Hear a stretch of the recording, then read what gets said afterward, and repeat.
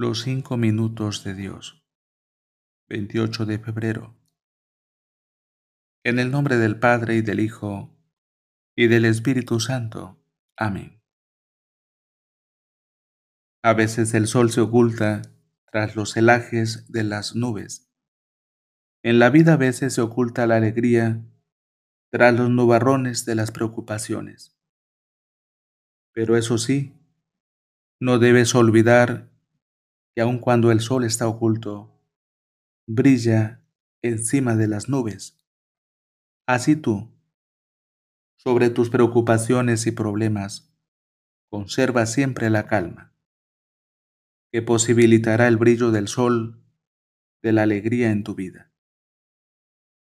Siempre debes reservar en tu corazón un lugar en el que no permitas penetrar la turbación o el tedio.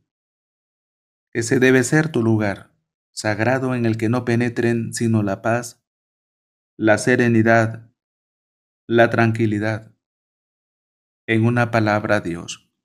Sí, porque Dios es eso, paz, tranquilidad y bienestar.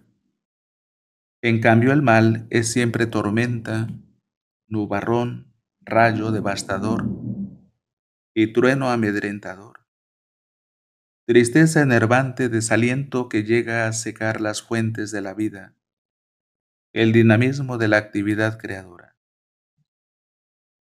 Gloria al Padre y al Hijo y al Espíritu Santo, como era en el principio, ahora y siempre por los siglos de los siglos.